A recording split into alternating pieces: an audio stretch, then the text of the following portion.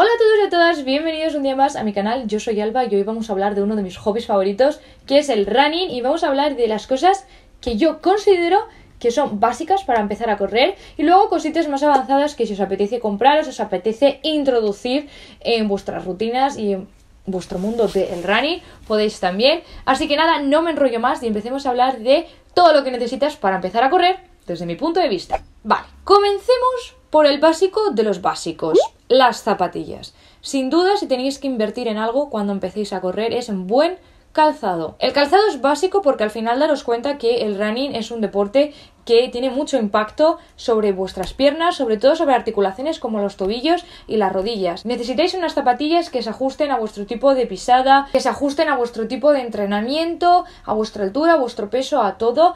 Usar calzado bueno marca la diferencia muchísimo, ya no solo en mejorar la carrera en sí, sino también en prevenir lesiones y en tema de ampollas, dolor de pies, etc. Las zapatillas aguantan un máximo de kilómetros, mm, ahora mismo no sé deciros, pero lo conveniente sería que os cambiéis de zapatillas cada año y si corréis mucho como yo, dos veces al año. Sé que parece mucho, pero es que las zapatillas aguantan un número de kilómetros, las amortiguaciones aguantan un número de kilómetros y corréis más rápido o corréis más lento, es lo mismo necesitáis cambiar el calzado y necesitáis que sea un calzado que se ajuste a vuestras necesidades. Obviamente, si corréis de manera esporádica, pues no hace falta que os cambiéis las zapatillas mm, tan a menudo, pero si corréis bien, lo tenéis introducido en vuestro día a día, por favor, mm, fijaros si las zapatillas están desgastadas, si estáis empezando a tener carencias en la pisada por un lado, empezáis a pisar mal, cambiar las zapatillas es una inversión que hay que hacer, pero de verdad que es la que más se nota y la que más os va a ayudar a correr bien. Junto con esto hablemos del tema de la ropa, ¿vale? De qué consideraría yo que es básico tener cuando empezáis a correr.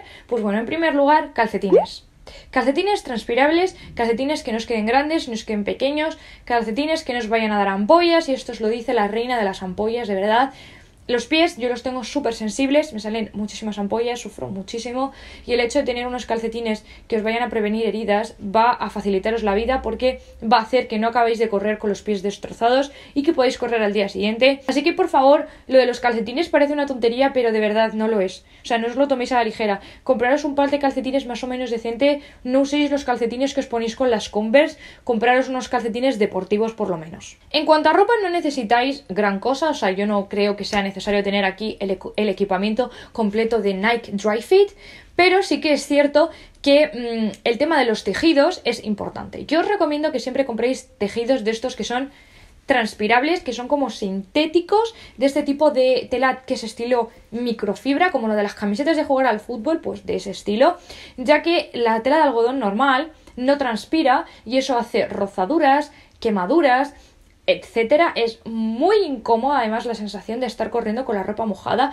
y sobre todo muy poco higiénico por vosotros mismos vais a sufrir. Personalmente yo eh, la marca en la que más confío es Nike, me parece que el tejido que tienen de Dry Fit es incomparable a cualquier otra marca. Intento comprar todo lo que puedo en outlets, piezas básicas que sé que me van a durar y que voy a correr bien con ellas. De mano de esto, el tema de la ropa interior, intentar elegir ropa interior que sea cómoda y que no os vaya a producir rozaduras. Mm, yo no os recomiendo de verdad que saquéis toda vuestra lencería preciosa para salir a correr porque uno vais a sudar mucho y la vais a destrozar y dos, ese tipo de tejidos de encajes, de gomitas finas, se os pueden clavar y las rozaduras de verdad que son horribles. En cuanto a partes de abajo, tener unas mallas de invierno que sean un poquito más gorditas y unas mallas que sean más finas o incluso tres cuartos para primavera-verano.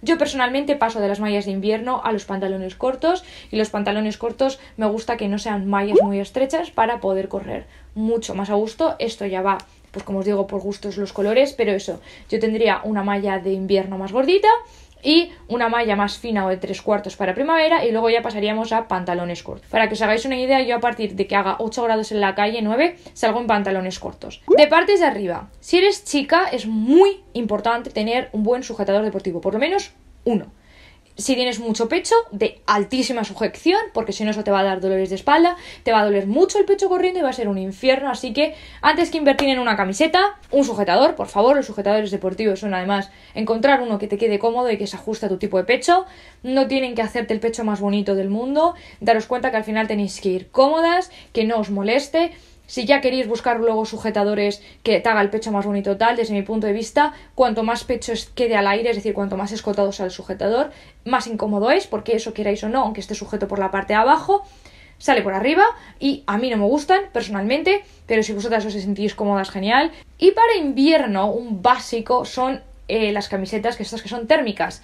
Yo las prefiero que tengan cremallera aquí para poder subirme y bajármelas según tenga un poco más de calor, pero cuando hace frío, tener una térmica os va a salvar de tener que correr con sudadera. Un truco para saber siempre si vas a pasar frío o calor corriendo es que en el primer kilómetro tienes que pasar frío, eso es ley de vida. A partir del primer kilómetro vas a, a empezar a entrar en calor. Si cuando sales por la puerta de tu casa estás bien, no tienes frío, vas a pasar calor, ya os lo digo yo. Para días de lluvia, siempre tener una gorra. La gorra hace que el agua no nos dé en la cara y que caiga así. Y está genial porque también hace que la cabeza no la tengáis mojada, así que una gorrita. Y luego ya si sois muy frioleros podéis añadir una braga en invierno o guantes. Yo personalmente no suelo correr con guantes o con braga, a no ser que haga mucho frío. Soy muy calurosa y como estoy mucho tiempo corriendo, entro en calor rápido, entonces no me hacen falta, pero por ejemplo, eh, sí que es cierto que conozco a gente que corre siempre con guantes, a mí los guantes me dan mucho calor, pero bueno, intentar usar unos guantes que sean táctiles por si tenéis que cambiar la canción del móvil o tenéis que parar algo, que así que tampoco sean muy gordos, que sean más bien guantes deportivos, porque si no es que se os van a cocer las manos, de verdad, se os van a cocer. Y luego ya lo último que yo sí que tendría sería una app en el móvil para mm, poder hacer un tracking, para poder hacer un seguimiento de los kilómetros que estés corriendo, cuánto tiempo, etcétera. La app que yo uso es eh, la de Nike, pero también tenéis Strava. Uso la de Nike porque mi reloj en plan, está sincronizado con ella, eh, porque utilizo las audioguías, etcétera. Pero bueno, eh, yo es personalmente, parece que me está patrocinando Nike, no me patrocina Ojalá Nike. Pero bueno, eso, uso la app de Nike. También tenéis otra de Runastic que es de Adidas. Tenéis de Essex. Tenéis muchísimas. La que más os guste. A mí me gusta la de Nike porque es muy intuitiva y tiene carreras guiadas por audio que está muy guay. Así que bueno, una app que os diga más o menos cuánto corréis. Pasamos ahora al siguiente nivel que son extras que son un poco más caros que creo que vale la pena que invirtáis si ya pues corréis o os gusta o por ejemplo si vienen navidades y queréis pedir algo por Reyes para mejorar un poco mm, la calidad que tenéis tenéis corriendo, os voy a nombrar algunas cosillas en las que yo personalmente he invertido y que he notado, la verdad, que bastante diferencia en cuanto a temas de comodidad y de ser práctico. En primer lugar, es si ya os gusta correr mucho es compraros un reloj con GPS incorporado. Tenéis los Garmin, los Apple Watch, hay de muchos tipos. Yo personalmente me cogí un Apple Watch porque quería que fuera un reloj que no sirviera únicamente para correr, sino que me sirviera en el día a día. Y también muy importante para mí era que pudiera tener música sin necesidad de llevarme el móvil, es decir, que pudiera conectar unos cascos. Obviamente esto es una inversión muy grande, pero si eres una persona que corre mucho, que corre a diario, lo vas a notar mucho porque no te va a hacer falta llevarte el mamotreto del móvil, que el mío es así es un iPhone 7 Plus. Entonces, correr con eso es un verdadero infierno. Entonces, pues bueno, yo estoy súper contenta. Para mí es sin duda de las inversiones grandes la mejor que he hecho, de verdad. Tener un reloj para poder salir con él es mucho más preciso, tiene pulsómetro, etcétera. Después, algo también eh, interesante es compraros unos cascos inalámbricos. La mayor parte de la gente ya tiene cascos inalámbricos, por eso no lo he metido en los básicos, porque si ya se usan muchísimo, ya no es como antes. Yo he tenido de varios tipos, ahora os los pondré en la pantalla. Los primeros que tuve fueron estos de aquí, que tenían un cable entre ellos, eran súper cómodos, te aislaban genial del ruido, pero sí que es cierto que al estar unidos por el cable a veces eran un poco incómodos, porque como yo corro con trenzas y tal, pues a veces se movía o tenían como un poco de ventosa y la ventosa se salía. Pero bueno, funcionaba muy bien. Llevo con ellos muchos años, en plan 7 años aproximadamente. La batería funciona genial, etcétera. No sé dónde los compré porque fueron unos cascos que recomendó Sara Baceiredo como en el 2015 o 2014. Y ya en Reyes el año pasado mis padres me regalaron los AirPods y la verdad es que he notado una diferencia muy grande porque es como correr sin nada. Eh, me he comprado unos pequeños adaptadores que hacen que no se muevan ni para atrás, aunque es cierto que los AirPods no se caen. Eh, yo soy un poco dramática y siento que se me caen todo el rato y al ser un producto tan caro mm, me niego a que se me caigan y los pise, o sea, me niego. Entonces me compré estos adaptadores que os digo y eh, se ponen y así pues mueves la cabeza y no hay manera de que se salga ni aunque hagas el pino. Y la verdad es que la calidad de sonido es increíble, es lo que mejor se conecta al, Apple Watch. Me compré unos falsos de estos de imitación y con el Apple Watch la verdad es que tenía muchos problemas de sincronización. Entonces, pues bueno, al final acabé eh, teniendo los originales y la verdad es que es una inversión también muy buena. Pero bueno, con cable, con auriculares de cable tampoco se corre mal. Lo que pasa es que la amplitud de movimiento pues no es la misma. Pero bueno, es otra inversión que podéis plantearos hacer. Después, sí, eh, como os digo, ya veis que os empieza a gustar el mundo del running. Os recomiendo que os compréis un foam roller, que es de estos rodillos. Bueno, es que el mío lo tengo como trípode del, del foco, pero es para estirar bien, para descargar un poco la musculatura, para quedaros a gustito, ampliar el rango de movilidad, etcétera. Es súper cómodo, duele como la madre que lo trajo al mundo, pero realmente es una inversión que también está muy bien porque os va a ayudar mucho al tema de estirar, de, bueno, pues prevenir agujetas, todo ese tipo de cosas, la verdad es que se nota.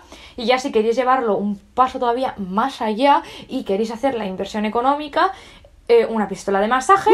Yo tengo una también, eh, me la compré este año y la verdad es que lo he notado muchísimo. Es una maravilla del Señor, siempre usándola con prudencia, con tranquilidad, sabiendo cómo se usa, etcétera, para, pues bueno, para que no sea contraproducente y haceros más daños sin abusar, como siempre. Y la verdad es que es una relajación increíble. Pero bueno, yo me la he comprado ahora y llevo corriendo desde que tengo 6 años, entonces me refiero que no es necesario, pero es cierto que si sois deportistas en general, las pistolas de masaje vienen muy bien, obviamente no reemplazan ni del fisio ni para atrás, pero sí que es un añadido pues que se nota. Después, otra cosa en la que yo invertiría ya sería en tener unas mallas y unos pantalones cortos de calidad. O sea, esos pantalones que sabemos que si vamos a hacer, por ejemplo, una carrera de una hora, vamos a correr súper a gustos porque no se mueven, eh, son de mi talla exacta, tienen una calidad mejor, me los puedo estar poniendo durante años que todavía funcionan ya sabéis, un par de prendas que sean fiables, que sean buenas y que vayáis a correr con ellas bien. Un par de prendas que sean básicas. Incluso si queréis un segundo par de zapatillas para ir rotando. Unas zapatillas que sean como con más amortiguación, un poco más pesadas para las carreras largas, para los días de recuperación. Y luego otras que sean un poco más ligeras para los días que entrenéis velocidad, cambios de ritmo, etcétera. Y ya por último, dos añadidos que también están muy bien, que son las medias de compresión. Eh, hay gente que le gustan, gente que no le gustan. Yo tengo, no las uso tanto como debería porque se me olvidan. Pero bueno, están muy bien. Las carreras así que he hecho de San Silvestres y cosas así las he corrido con medias compresivas. Y luego hace poco, para empezar a preparar la media maratón, me compré un chaleco. Si me veis salir con chaleco a correr, hay dos opciones. Uno, o que quiera salir con Spotify y el móvil lo llevo ahí, o dos, que voy a hacer una tirada larga en la que llevo pues mi agua, a lo mejor una chaqueta pues hace más frío, los pañuelos, la mascarilla, eh, algún snack a mitad de carrera para recobrar energía, etcétera. Por eso llevo el chaleco o por lo que os digo, porque quiero escuchar Spotify y como mi móvil es muy grande, pues ya corro con el chaleco. Pero bueno, la verdad es que el chaleco además os permite pues bueno, pues por si pasa cualquier cosa, podéis llevar todas las cosas que necesitáis. Espero que os haya gustado mucho el vídeo. No os olvidéis de que esto es mi opinión. Si tenéis la vuestra y queréis comentarme más cosas que vosotros consideréis básicas, dejármela abajo en comentarios. Espero que os haya gustado el vídeo. No os olvidéis de suscribiros y nos vemos otra semana con un nuevo vídeo. ¡Adiós!